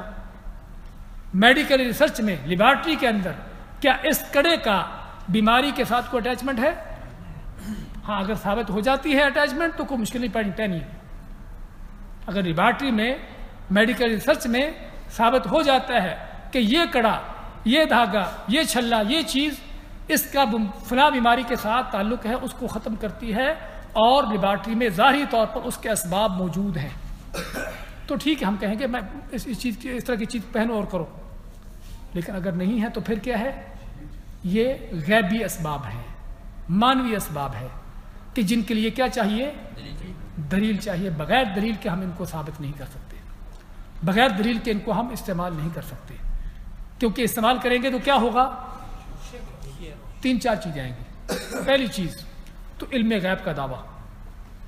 پہلی بات کہ یہ کڑا پہن کر بیماری دور ہوتی ہے یہ آپ کو کہاں سے اس کی خبر ملی۔ اس کڑے کا بیماری کے ساتھ کوئی تعلق نہیں لیبارٹری کے لحاظ سے۔ تو کہاں سے آپ کو آپ نے کہاں سے دعویٰ کر دیا؟ علم غیب کا دعویٰ۔ اچھا دوسرا کہ اس کڑے کے ساتھ بیماری کو اٹیچ کرنا۔ کہ یہ کڑا جو ہے بیماری دور کرتا ہے۔ ہاں یہ کس کا کام ہے؟ بیماری دور کرنا اللہ کا کام ہے۔ اس کڑے کا کوئی تعلق نہیں، اس اس لحاظ سے علم غیب کا دعویٰ بھی ہے، اللہ کے ساتھ شرک بھی ہے اور اس طرح کی ساری چیزیں ہیں۔ اس لیے جو غیر ظاہری اسباب ہیں، غیر حصی اسباب ہیں، غیر ظاہری اسباب ہیں، ان کے لیے دلیل چاہیے۔ جس طرح بھی ہم نے زمزم کے حوالے سے پڑھا ہے۔ زمزم کا پانی شفا ہے۔ یہ پانی شفا نہیں ہے۔ یہ بوتل کا پانی شفا نہیں ہے۔ یہ صرف پیاس بجھانے کے لیے ہے۔ لیکن زمزم شفا ہے۔ کیا دلیل ہے؟ کوئی کہے بھی یہ بھی پانی ہے، وہ بھی پانی ہے۔ کیا فرق دونوں کے اندر؟ کہ اس کی دلیل ہے۔ اس کی شفا ہونے کی دلیل ہے۔ اس بوتل کے پانی کے شفا ہونے کی دلیل نہیں ہے۔ یہ فرق ہے۔ اس لیے یہاں پر حضرت عامر کی جو الجہنی کی حدیث آپ کے سامنے پیش کی گئی ہے کہ اللہ کے نبی صلی اللہ علیہ وسلم کے پاس ایک گروہ آیا آپ کے ہاتھ پر اسلام کی بیعت کرنے کے لیے۔ تو دس آدمی تھے جس میں سے آپ نے نو کی بیعت کر لی اور ایک کی نہیں کی۔ تو لوگوں نے پوچھا کہ آپ نے فلاں آدمی کی بیعت کیوں نہیں کی؟ نو کی کر لی آپ نے۔ اس کو چھوڑ دیا۔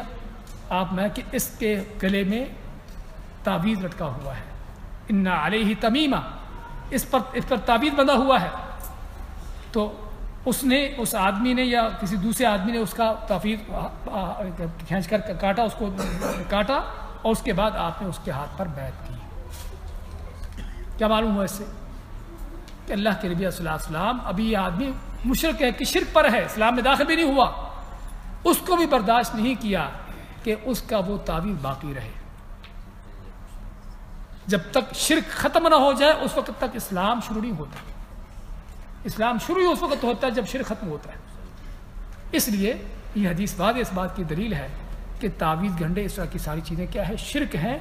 اگرچہ لوگ کہیں بھی اس کے اندر شفا ہے، لوگ سو طرح کے اس طرح کے دعوے کر لیں، لیکن اللہ نے ان کو شفا کا سبب نہیں بنایا اور نہ ہم کو ہم سبب بنائیں۔ گے جادو کے لیے جادو کا علاج کرنا منع ہے۔ اللہ کے لیے سے پوچھا گیا، نشرہ کے بارے میں، نشرہ کیا ہوتا ہے؟ کہ جادو کا جادو سے علاج کرنا، جادو کو ختم کرنے کے لیے جادو ہی استعمال کرنا۔ تو آپ میں کہ ان من عمل شیطان کہ یہ شیطانی عمل ہے۔ کیونکہ جادو کا توڑ جادوگر ہی کرتا ہے اور جادو چونکہ شیطانی عمل ہے، اس لیے یہ عمل جائز نہیں ہے۔ لیکن نشرہ اگر جادو کے علاوہ ہو، اور چیزوں کے ساتھ ہو، قرآن کے قرآن کی صورتوں سے، دم کے ان چیزوں کے ذریعے سے ہو، تو وہ جائز ہے اور وہ کرنا چاہیے۔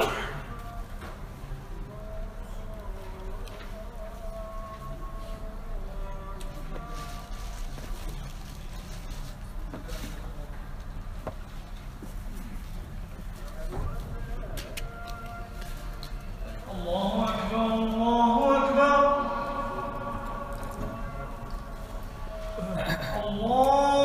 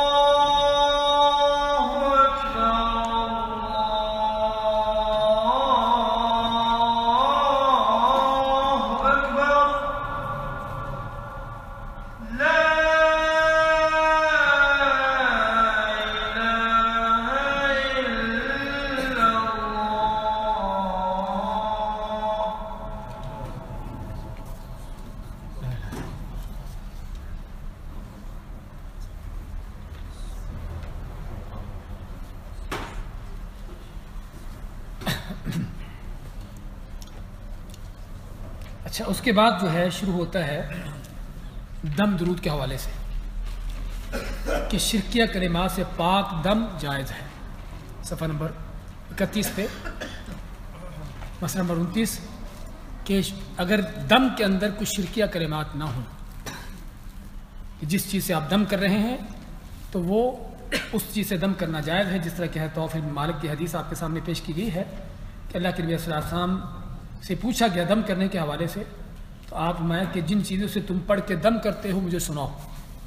جن چیزوں سے تم پڑھ کے دم کرتے ہو، مجھے سناؤ۔ اگر اس میں کوئی شرک کی بات نہیں، تو اس سے اس سے دم کرنے میں کوئی حرج نہیں۔ اس کا معنی کیا ہوا؟ کہ ایسے الفاظ جو شرکیہ ہوں جن کے معنی کا پتہ نہ ہو یعنی مجہول قسم کے لفظ ہوں، معنی پتہ نہ ہو کہ کیا بنتا ہے۔ تو ایسے الفاظ جو ہے، ان سے دم کرنا جائز نہیں ہے، بلکہ شرک ہے۔ لیکن قرآن کی آیات سے، احادیث سے یا قرآن و حدیث کے علاوہ بھی کوئی آپ کو اور عربی زبان میں دعا آتی ہے۔ بعض علماء تو عربی کو خاص کہتے ہیں کہ لازم عربی میں ہو، لیکن ہم کہتے ہیں کہ اگرچہ عربی کسی کو نہ آتی ہو اپنی زبان میں ہی، لیکن اس کے معنی واضح ہوں، اس کے اندر کوئی غلط معنی نہ ملتا ہو، تو ایسے الفاظ سے دم کرنا جائز ہے۔ لیکن علماء نے جو شرطیں رکھی ہیں وہ یہ ہے کہ قرآن سے ہو یا حدیث سے ہو یا کم از کم عربی دعائیں ہوں کہ جس کے اندر کوئی غلط الفاظ نہ ہو اور اس کے معنی واضح ہوں۔ تو ان چیزوں دم کرنا جائز ہے۔ اچھا آگے مسئلہ نمبر تیس، اکتیس، بتیس میں یہ بتاتے ہیں کہ بعض اوقات شرکی افعال، چاہے دم ہو یا تعویذ ہو یا اس طرح کی چیزیں چیزیں ہوں، اس سے بھی بعض اوقات آدمی کسی مشکل سے بچ جاتا ہے یا بیماری ظاہر دور ہو جاتی ہے۔ اور اس کی جو انہوں نے واقعہ پیش کیا ہے، حضرت عبداللہ یہاں پر بھی لکھا ہوا ہے۔ کون؟ عبداللہ بن مسعود۔ تو انہوں نے یہ حدیث آپ کی بیان فرمائی، اپنے گھر والوں کو بیان کی کہ آپ نمایا کہ دم، تعویذ اور تیوالا یہ سارا شرک ہے۔ تیوالا کیا ہوتا ہے؟ وہ ایک دوسرے کے ساتھ کوئی تعلقات قائم کرنے، جوڑنے کے لیے معاملات کرتے ہیں۔ تو آپ مانتے کہ سارا شرک ہے۔ تو مسعود کی بیوی نے کیا کہا؟ اس نے کہا کہ مجھے تو بعض اوقات میری آنکھ پھڑکتی ہے تو میں فلاں یہودی کے پاس جاتی ہوں، وہ یہودی دم کرتا ہے اور آنکھ پھڑکنا بند ہو جاتی ہے۔ تو اب ظاہراً بیوی کے ذہن میں کیا ہے کہ آنکھ آنکھ کا پھڑکنا دم ہو یعنی ختم کس لیے ہو رہا ہے؟ بند کیوں ہو رہا ہے؟ یہودی کے دم سے۔ لیکن جن کے دل میں توحید ہوتی ہے، عقیدہ ہوتا ہے، وہ دیکھیے ان باتوں کو کس طرح سمجھتے ہیں۔ ابن مسعود نے کیا فرمایا؟ مایا کہ یہ یہودی کا دم بم کوئی نہیں ہے۔ یہ وہ بےمان جب تمہیں پڑھتا ہے کچھ شیطانی الفاظ کہتا ہے، تو شیطان جو تمہاری آنکھ کو ہرا پھٹکا رہا ہوتا ہے، وہ بند ہو جاتا ہے، اپنی وہ شرارت بند کر دیتا ہے اور تم سمجھتی ہو کہ وہ آپ کی تمہاری ماری صحیح ہوگی۔ اس کا معنی کیا ہوا؟ ہمیں اس حدیث کے اس واقعے سے بہت اہم بات معلوم ہوئی کہ بعض اوقات بعض لوگ مشرکانہ قسم کے، غلط قسم کے کام کر کے سمجھتے ہیں کہ ہمیں شفا مل گئی ہمارا مقصد حل ہو گیا، ہماری مشکل دور ہو گئی۔ اس کے پیچھے کیا ہے؟ اس کے پیچھے بھائیو دو تین چیزیں ہیں غور سے سنیے۔ پہلی چیز تو یہ ہوتی ہے جو یہاں پر اب حدیث میں سن رہے ہیں کہ یہ شیطان کی طرف سے اس انسان کے ساتھ کوئی معاملہ چل رہا ہوتا ہے۔ شیطان اس کو تنگ کر رہا ہوتا ہے، اس کو کوئی تکلیف دے رہا ہوتا ہے۔ جب وہ آدمی وہ شیطانی کام کرتا ہے جس سے شیطان خوش ہوتا ہے تو وقتی طور پر شیطان اپنی شرارت چھوڑ دیتا ہے اور آدمی مطمئن ہو جاتا ہے۔ سمجھتا ہے کہ مجھے شفا مل گئی۔ سمجھے نا؟ بعض اوقات یہ ہوتا ہے اور بلکہ اکثر اوقات یہ ہوتا ہے۔ اور شیطان چاہتا بھی یہی ہے کہ مسلمان کو ایسا گمراہ کن کام کرے جس کے جس سے اس کا دین برباد ہو اور پھر اس کو وہ تنگ کرنا چھوڑ دیتا ہے۔ اچھا دوسری چیز کیا ہے کہ بعض اوقات اللہ کی طرف سے تقدیر میں لکھا ہوتا ہے، اس کا آدمی کی بیماری فلاں وقت پہ ختم ہوگی۔ اس کی یہ تکلیف، اس کی یہ مشکل فلاں وقت میں حل ہو جائے گی، اس کی تکلیف فلاں وقت میں ختم ہو جائے گی۔ اللہ کی تقدیر میں وہ وقت لکھا ہوتا ہے اور اللہ کو معلوم ہے۔ اور آدمی، وہ جو تقدیر میں لکھا ہوا وقت تھا، اس کو تو پتہ نہیں ہے۔ اس نے اس وقت میں کوئی اس طرح کا غلط کام کیا مشرکانہ قسم کا؟ اور اللہ کی تقدیر میں لکھا ہوا جو تھا وہ اس کا وہ یعنی کہ تکلیف کا ختم ہونا وہ ختم ہو گئی۔ اور آدمی کیا سمجھا؟ کہ اس کی تکلیف اس کام سے ختم ہوئی ہے، اس تعویذ سے ختم ہوئی ہے، اس دم سے ختم ہوئی ہے۔ سمجھے نا؟ اس لیے ان چیزوں کو سمجھنے کی ضرورت ہے۔ ورنہ ممکن نہیں کہ اللہ تعالیٰ کسی آدمی کو شفا دے، کسی آدمی کو صحت دے، اس کی مشکل دور کرے اور جبکہ وہ آدمی اللہ کو ناراض کر رہا اور تیسری ایک چیز اور بھی ہے۔ وہ چیز کیا ہے؟ وہ ابتلا ہے، آزمائش ہے۔ ابتلا اور آزمائش ہوتی ہے کہ اللہ تعالیٰ بندے کو آزماتا ہے یہ کیا کرتا ہے۔ اور اس آزمائش کے اندر یہ بھی ہوتا ہے کہ بعض اوقات بندے کو چھوڑ دیتا ہے، واقعی ہی اس کی تکلیف ختم ہو جاتی ہے۔ اس لیے ان چیزوں کو سامنے رکھنا چاہیے، ورنہ ممکن نہیں کہ اللہ تعالیٰ کو ناراض کر کے آدمی سعادت کبھی حاصل کر سکے۔ یہ چیز نہیں ہوتی۔ آگے بیمار پر آگے آپ کو چند چیز حدیثیں پیش کی گئی ہیں اور میں چاہتا ہوں ان حدیثوں کو آپ پڑھیے اور ان دعاؤں کو یاد کریے۔ اس میں مختلف طرح کی دعائیں دی گئی ہیں کہ جس میں آدمی کو یعنی کہ اگر بیمار ہے تو اس کے جسم پر ہاتھ رکھ کر دعا پڑھنا چاہیے۔ اللہ ادیب البا اسرب الناس وشف انت شافی لا شفا اللہ شفا کا شفا اللہ یغادر سقما آپ سر کی دعا ہے، صحیح بخاری مسلم کی۔ اسی طرح اگر کوئی کہ کوڑ میں، برس میں اس طرح کی بیماریوں سے محفوظ رہنے کے لیے آپ نے دعا فرما ایک دعا سکھائی۔ اللہ میں اعوذ کے من الجنون والجذام والبرص من سیء الاسقال تو اسی طرح جادو اور اس چیزوں سے محفوظ رہنے کے لیے معاوضات پڑھنا۔ معاوضات کیا چیز ہیں؟ قلوب رب الفلق اور قلوب رب الناس۔ اور دم کرتے وقت جسم پر ہاتھ پھیرنا یا ہاتھ رکھنا مسنون ہے، کیونکہ اللہ کے نبی صلی اللہ علیہ وسلم کے بارے میں آتا ہے کہ آپ معاوضات پڑھتے اور پھونکتے، اپنے اوپر پھونکتے اور ہاتھ پھیرتے، اور خصوصاً رات کو سوتے ہوئے آپ تینوں کل پڑھ کر ہر بار ہر بار پڑھنے کے بعد جو اپنے ہاتھوں میں پھونکتے اور جسم پر ہاتھ پھیرتے۔ تو اس لیے اس سے معلوم کیا ہوا کہ جسم پر ہاتھ پھیرنا دم کرتے ہوئے یا جسم پر ہاتھ رکھنا سنت سے ثابت ہے۔ درد کی جگہ پر بھی اس طرح ان کے مصنوع یہ دعا پڑھ کر وہاں پر ہاتھ رکھنا پڑھتے ہوئے آپ مانتے ہیں کہ جس جس جگہ پر تم کو درد ہو وہاں پر ہاتھ رکھو، تین بار بسم اللہ پڑھو اور سات مرتبہ یہ دعا پڑھو۔ سفر نمبر تینتیس پہ مسئلہ نمبر سینتیس میں دیکھیے۔ تین تین مرتبہ بسم اللہ پڑھ کر سات مرتبہ یہ دعا پڑھو۔ کیا دعا ہے؟ اعوذ باللہ و قدرته من شر ما اجد و احاضر اعوذ باللہ و قدرته من شر ما اجد و احاضر یہ سات مرتبہ دعا پڑھو تو اللہ تعالیٰ اس سے وہ بیماری ختم کرتا ہے۔ آگے آگے حدیث آپ کو آ رہی ہے انتالیس نمبر صفحے میں نظر بد کے حوالے سے۔ نظر بد یعنی بری نظر کسی پر لگ جانا۔ اس کا کیا معاملہ ہے؟ اس کے بارے میں آپ مانتے العین حق کہ نظر لگ جانا حقیقت ہے برحق ہے۔ اور اگر اگر اللہ تعالیٰ کی تقدیر سے کچھ چیز سبقت رہ جاتی تو نظر بد ہے۔ اس کا معنی کیا ہے؟ کیا نظر بد جو ہے وہ اللہ کی تقدیر سے بھی آگے بڑھ جاتی ہے؟ ہاں۔ آپ نے فرمایا کہ اگر کوئی چیز بڑھنے والی ہوتی تو یعنی اس اچھا حدیث میں آپ سر نے اصل میں کیا بیان کیا ہے؟ کہ نظر بد کس قدر خطرناک چیز ہے کس قدر پر اثر چیز ہے کس قدر اس کا اثر ہوتا ہے۔ اگر کوئی چیز اللہ کی تقدیر سے بھی آگے بڑھ سکتی ہوتی تو یہ نظر بد ہوتی لیکن اللہ کی تقدیر سے آگے کوئی چیز بڑھنے والی نہیں۔ ہے۔ اس حدیث کا معنی یہ یہ معنی نہیں اس کا کہ نظر بد جو ہے اللہ کی تقدیر سے آگے بڑھ جاتی ہے۔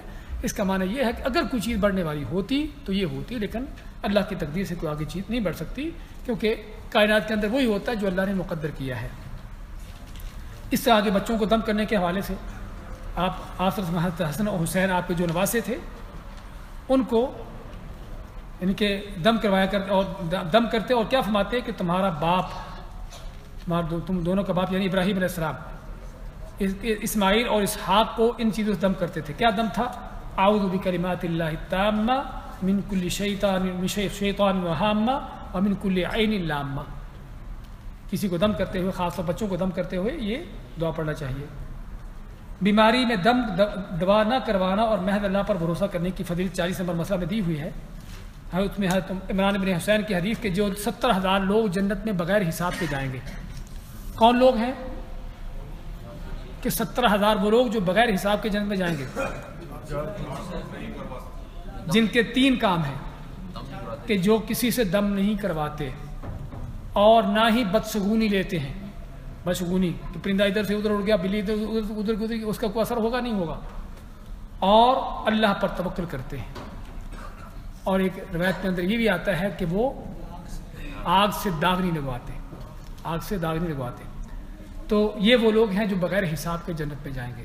اچھا کلائی صاحب نے یہاں پر لکھا ہے کہ بیماری میں دم دوا نہ کروانا اور محض اللہ پر بھروسہ کرنا۔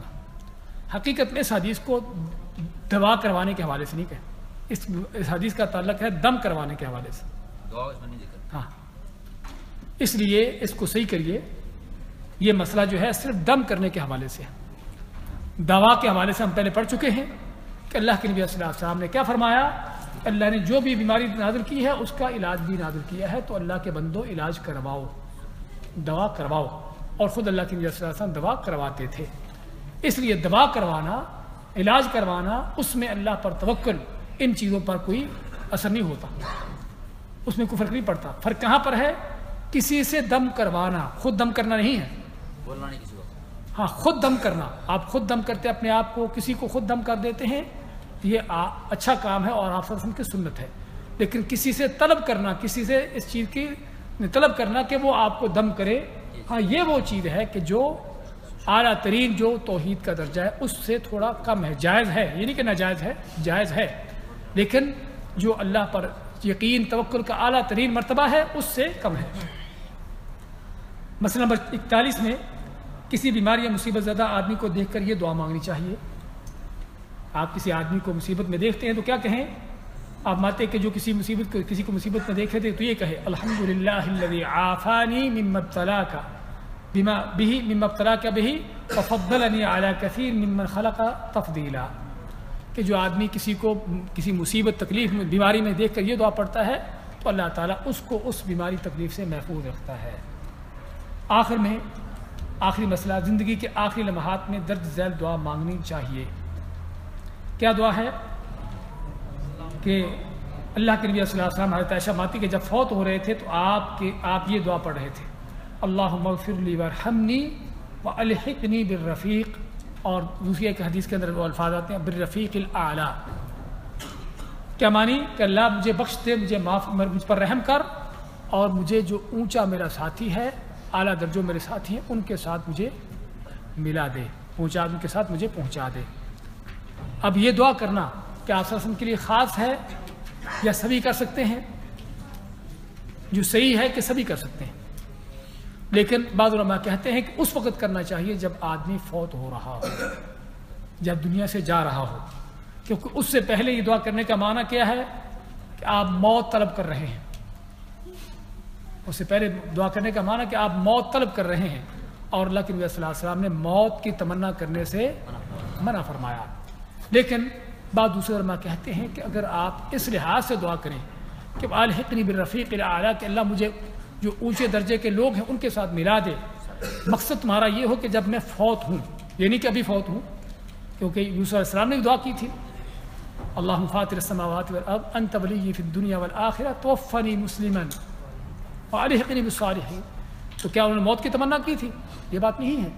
اس لیے جو صحیح ہے وہ یہ ہے کہ آدمی کسی وقت میں بھی یہ دعا کر سکتا ہے، لیکن موت کی تمنا کے انداز سے نہیں، بلکہ اس انداز سے کہ جب بھی موت آئے تو اللہ تعالیٰ اس کو جو اس کے اونچے ساتھی ہیں، اونچے ساتھیوں سے مراد کون ہے؟ رفیق العلیٰ کون ہے؟